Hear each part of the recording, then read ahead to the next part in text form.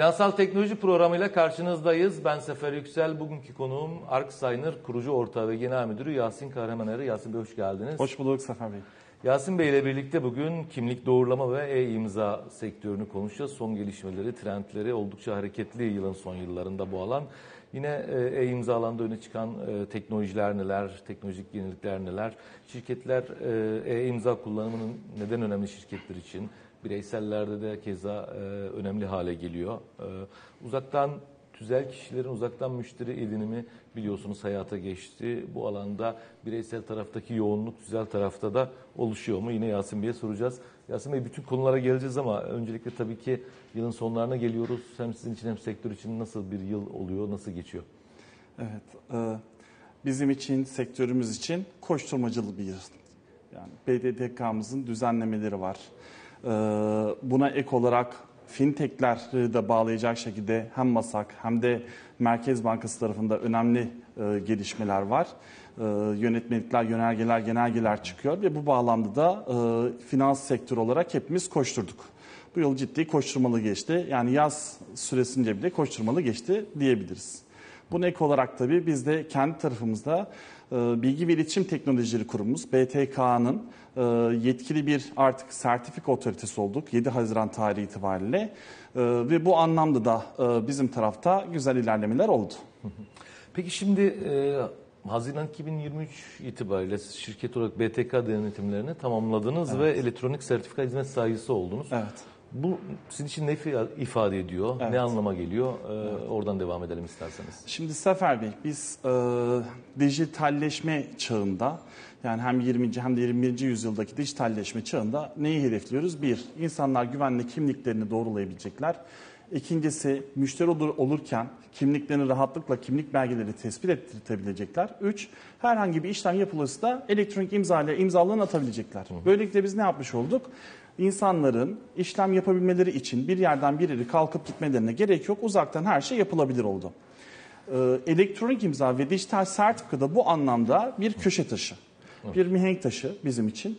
Ve biz zaten 9. yılımızdayız. Biz e, elektronik imza alanında neredeyse bütün bakanlıklarımıza hizmet veriyoruz. Pek çok hani büyük kurumsal e, holdinglere e, hizmetlerimizi veriyoruz. Biz dedik ki elektronik imza altyapısıyla beraber aynı zamanda kart okuyucu da üretiyoruz. Bir de dijital sertifikamızı verelim ve bu dijital sertifika da şöyle olsun. Geleneksel bir anlayıştan çıktık.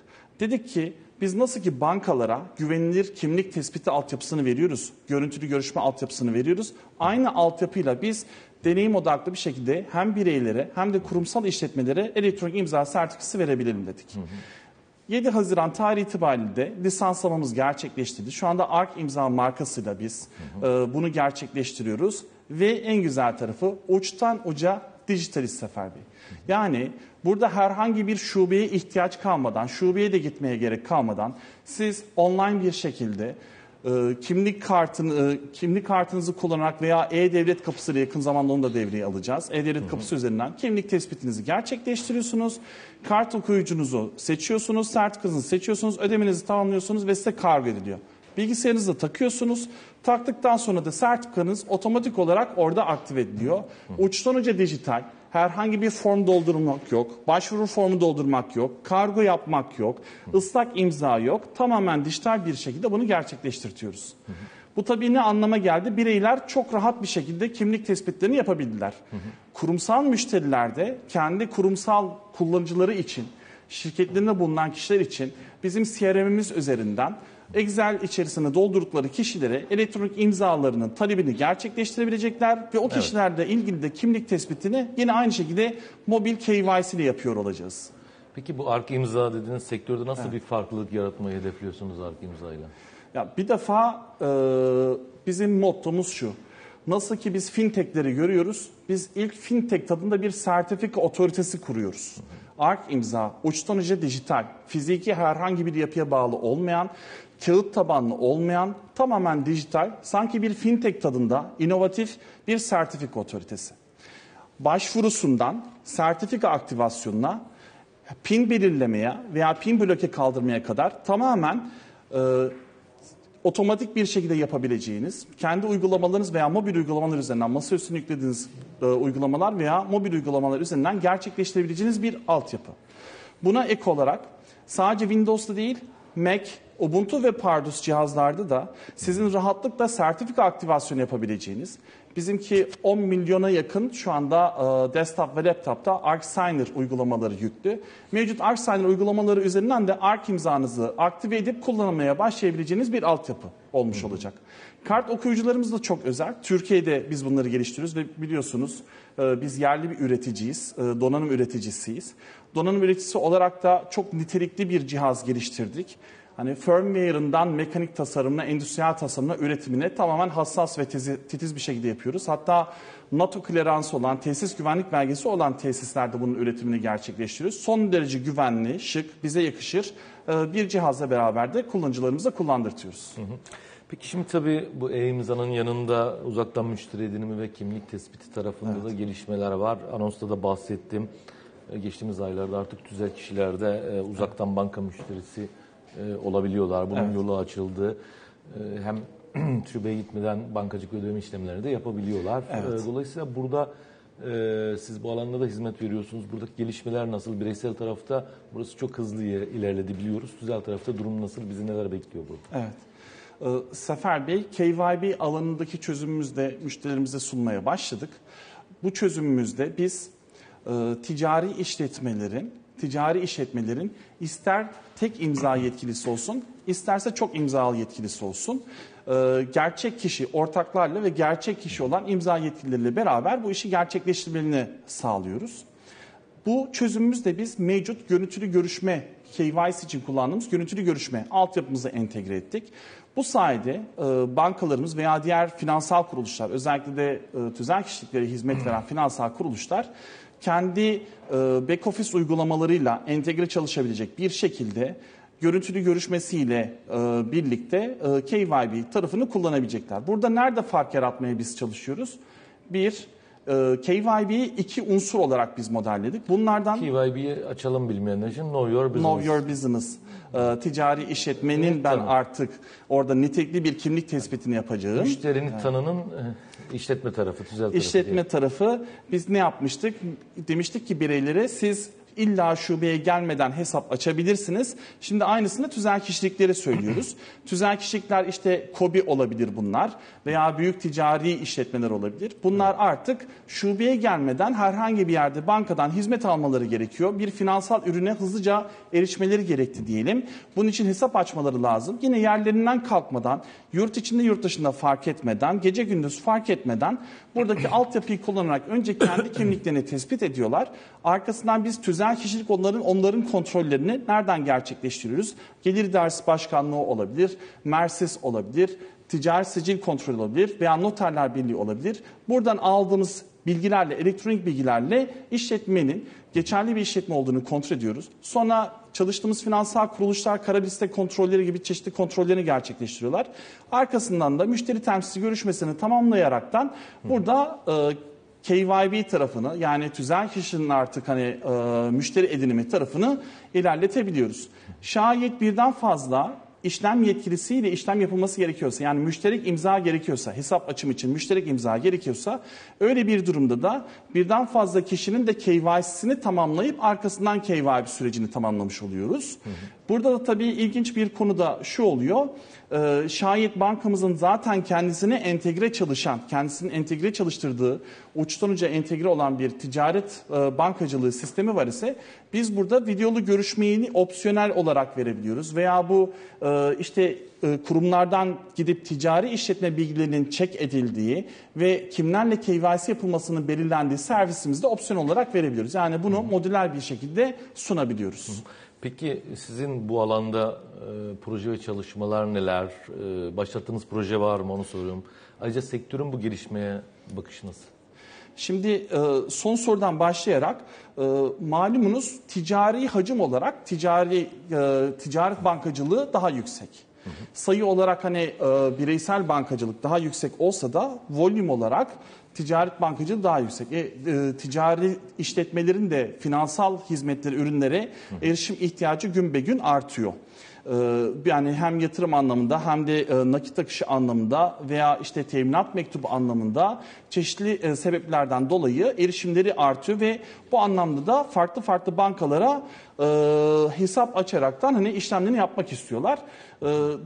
Ticaret bankacılığında hem bir ya ilk biz olalım anlamında çeşitli çalışmalar var ama pek çok gördüğümüz ticaret bankacılığı yani KYB yaptık diyenler genellikle tek bir imza yetkilisi için bu sürecini sunuyorlar şu anda. Biz ise bahsettiğim üzere müşterek imzalı yani birden fazla imza yetkilisinin ancak ve ancak imzalamasıyla banka hesabı açılabilme sürecini destekliyoruz. Burada da bir bankamızla beraber sürecimizi başlattık. Bir başka bankamızla beraber de POC süreci içerisindeyiz. Ee, yakın bir zamanda da inşallah o bankamızla beraber e, yani başladığımız bankamızla beraber canlıya geçmeyi hedefliyoruz. Bu alana çok talep alıyor musunuz? Evet. Özellikle de e, sadece bank yani şimdi bankaların pek çoğunda şu kanaat oluyor. Ya bizim zaten ticari bankacılık alt, altyapımız var core banking'te. Biz hani çağrı merkezi tarafında da bu süreçimizi yürütüyoruz. Hani illa gerek olmayabilir diye pek çok büyük bankamızda hani çalışma var. Kendi kendilerini KYB yapma çalışması. Ama özellikle de dijital bankalarımız yani yeni açılan dijital bankalarımız başta olmak üzere veya e, ticari işletmeleri hizmet veren fintechler, diğer finansal kuruluşlar bu anlamda e, şu anda bir e, ona yakın herhalde kuruluşta biz şu anda e, demolarımızı gerçekleştiriyoruz diyebilirim. Hı hı. Peki şimdi bu konuda e, geçtiğimiz günlerde yine e, fintechlerin de ya da e-para şirketleri, e-para kuruluşlarının, ödeme kuruluşlarının da uzaktan kimlik doğrulama yöntemiyle müşteri ediniminin önü açıldı. Zaten evet. bankalarla başladı. Diğer finansal kurumlar evet. yavaş yavaş geliyor. Burada süreçlerde bir farklılık var mı herhangi e, ya da bu gelişime yine sizin sektöre nasıl yansır? Evet. Ee, çok güzel bir e, konu. Şimdi biz bu dijital onboarding diyoruz yani dijital yeni müşteri edinimi diyoruz veya KYC, KYB yapıyor diyoruz. Bunun hizmet veren için anlamı ne? Biz aslında yeni müşteri edinim maliyetini düşürmek için çalışıyoruz. Şimdi her bir işletme özellikle de B2C ve B2B çalışan işletmeler ne yapıyor? Yeni müşteri edinmek için çabada bulunuyor. Pazarlama giderleri olabilir veya şube açma maliyetleri olabilir. Farklı farklı giderlerimiz var. Şimdi dijital bankacılık ve bu çözümlerin onboard'un dijital olarak gerçekleşmesinin asıl amacı ne? Biz maliyeti daha düşkün bir daha düşük bir şekilde yeni müşteri edinmek istiyoruz. Bütün espri bu. Bütün çaba da bu. Daha ucuza daha çok müşteri edinmek. Şimdi bankalarımızın pek çoğunun zaten kendi müşterileri vardı. Dijital bankalar hariç tutuyorum. Kendi müşterileri vardı. Onlar zaten mevcut müşterilerine e, ne yaptılar? Eklemeler yaptılar. Ama özellikle de dijital bankalarımız veya fintechler sıfırdan buna başlıyorlar. Yani sıfırdan ve minimum maliyetli, minimum altyapı yatırımıyla yani CAPEX'i de minimum yapmak, OPEX'i de minimum yapmak bu şekilde yeni müşteriler edinmek için çaba gösteriyorlar. Ve biz bu anlamda bankalara göreceli olarak diğer finansal kuruluşların, yani ödeme şirketleri, e-para şirketleri bizim bu teknolojileri daha da hassas yaklaştıklarını bizzat görüyoruz. Örnek veriyorum bir bankada mobil uygulamada bizim verdiğimiz bir mobil KYC kütüphanesinin işte güncel halinin yüklenmesi yılda dört defa olabilirken yani üçer aylık periyotlarla yükleme çıkabilirken biz görüyoruz ki diğer finansal kuruluşlarımızda ayda bir e, canlıya çıkma ihtiyaçları var. Çünkü sürekli olarak onlar için bir müşteri çok değerli bir müşteri. Bu sefer kendi funnel'larına yani bu dijital e, müşteri edimi macerasındaki serüvenindeki her bir adımın teker teker değeri olmaya başlıyor. Bir bankada yüzde yirmi ortalama başarı makul karşılanabilirken bir e, fintech firmasında bir ödeme şirketi, e-para şirketinde bu çok çok düşük olarak değerlendiriliyor ve çok aktif bir şekilde e, onlar da ilerletmeye çalışıyorlar. Bunun anlamı nedir bizler için? Bir, pürüzsüzlük, pürüzsüz bir müşteri deneyimi onlar için bir numara. Hı hı. Bank için olmayabilir. Nasıl olsa şubem var diyor. Evet. Ama pürüzsüz müşteri deneyimi bir numara öncelik. İkincisi Burada uzun... Tabii çok özür dilerim dijital banka için de çok önemli. Tabii Onların kesinlikle yok şube yok, evet. alternatifi yok. Yani dijitali yapacak ve dört dörtlük yapacak. Bir de şu anda çok ciddi bir rekabet var evet. bu anlamda. Hem en ucuz maliyetle bunu elde edecek, aynı zamanda da rekabetçi olacak. O yüzden bir pürüzsüz, iki kısa sürecek, çok fazla ekranlarla yeni müşteri edinimi için zaman harcatmayacak müşterisine. Üç, O serüven içerisinde müşterinin ya bu kadar da ekran olmaz deyip çıkmasına sebep olabilecek unsurlardan da arındıracak. Dördüncüsü yine güvenliği esas olarak alacak. Yani burada sahteciliği, e, kara para aklamayı engelleyebilecek her türlü unsuru buraya yerleştirecek. Güvenlikle beraber o pürüzsüz deneyimi müşterine sunacak ve daha da orijinali 7-24 bu işlem yapılacak. Şimdi peki bu tüm bu süreçleri aslında perçinleyen bir yeni genelge yine BDDK tarafından yayınlandı. İşte Evet. artık EFT, havale, kredi işlemleri mobil kanaldan yapılacak. Evet. Bu işlemlerin sonunda işte telefondan resim olarak sözleşmeler de imzalanabilecek. Evet. Bu teknoloji nedir? Ee, bizler için ya da müşteri için ne ifade ediyor? Sizin sektör için ne ifade ediyor? Evet. Şimdi tabii bütün her şey güvenlikle ilgili. Biz ne yaptık? Artık banka cebimizde dedik değil mi? Her şeyi mobilleştirdik. Biz bunu cebimizden gerçekleştiriyoruz dedik. Şimdi bunu mobilleştirirken aynı zamanda aslında hackerlara karşı da sistemleri açık hale getirmiş olduk. Daha rahat etek yani saldırılabilecek hale. Şube bankacılığı tarafında normalde insan şubeye gittiği zaman orada herhangi bir doğrudan saldırıyla karşılaşmaz iken şimdi biz mobil bankacılık veya internet bankacılığını koyduğumuz anda ne yaptık? Saldırıları açık hale getirmiş olduk. Bu genelgemiz şunu söylüyor. Diyor ki bir, şu anda e, social engineering, sosyal mühendislik kullanılaraktan çeşitli saldırılar var. Size işte bir telefon geliyor veya bir SMS geliyor. Hesabınız şu anda hacklenmiş olabilir veya bankaya girişte problem yaşayabilirsiniz. Beraber sizinle ben işte şu bankadan arıyorum. Hadi beraber şey yapalım. Ee, Sizinle beraber mobil uygulamanıza giriş gerçekleştirin ve beraber bakalım. Size orada bir uygulama yüklettirtiyor. Siz o uygulama üzerinden ekranınızı paylaşıyorsunuz ve kişi orada sizin hesap kodunuzu direktmen öğreniyor. PIN kodunuzu öğreniyor ve kendisi arkadan gidip hesabınızı boşaltabiliyor. BDDK genelgesi kapsamında diyor ki bir defa diyor mobil uygulamaların hepsi neyle e, burada şey yapmış olacak, e, savunma koymuş olacak. Anti-malware'larla beraber anti-malware kontrollerini gerçekleşmiş olacak. Artı ekran paylaşımına dair kontrolünü yapacak. Böyle bir sosyal mühendislik atağına karşı kişileri koruma altına alacak diyor. Bu bir. İkinci olarak sizin banka bilginizin yani uygulama bilginizin ele geçirilmesi durumunda ne riski vardı? Banka hesabınızın boşaltılması. Sizin bilginiz dışında bir EFT hesabının gerçekleştirilmesi. Bunu nasıl engellemeyi planlıyor?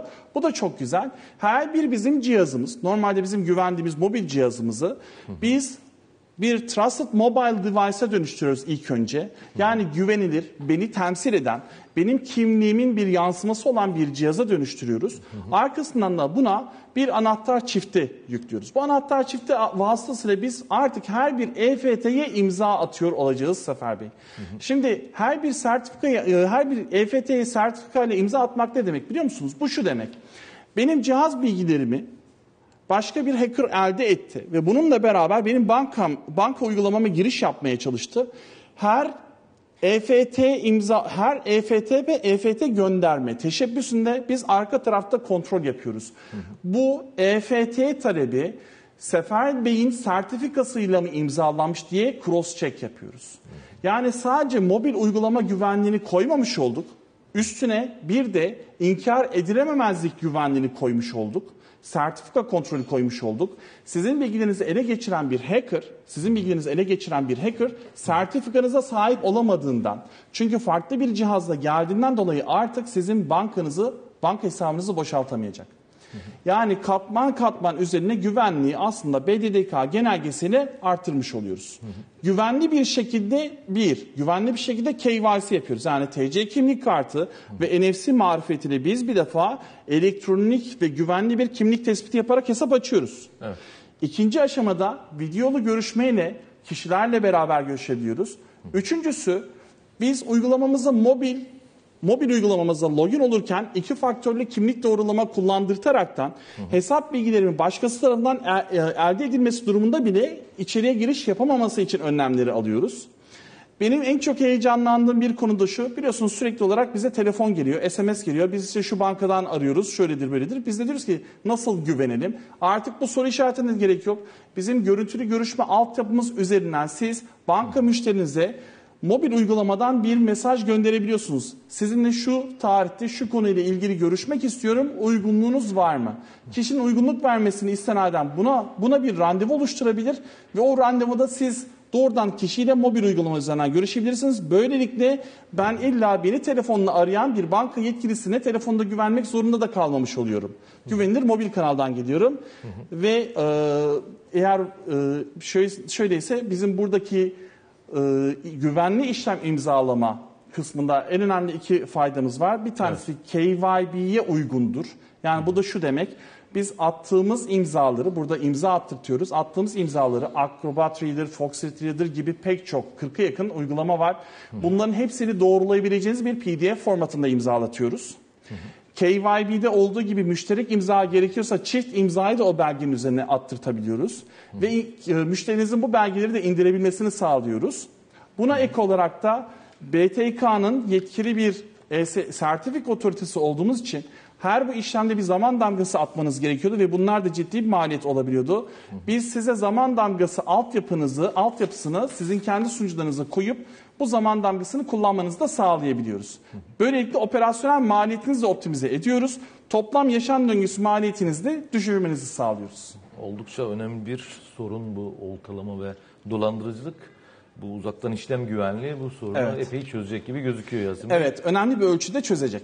Süremizin sonuna geldik maalesef. Çok keyifli ve önemli konular işledik. Değerli katılımınız için çok teşekkür ediyorum. Biz teşekkür ederiz. Çok sağ olun. Finansal teknolojinin sonuna geldik. Konuğumuz Arksayner kurucu ortağı ve genel müdürü Yasin Kahramaner'di. Yasin Bey ile birlikte e-imza sektörünü, uzaktan müşteri edinimi, en, en önemlisi de uzaktan işlem güvenliği konularını konuştuk. Kısa bir arın ardından piyasa hafta sizlerle olacak. Hoşçakalın.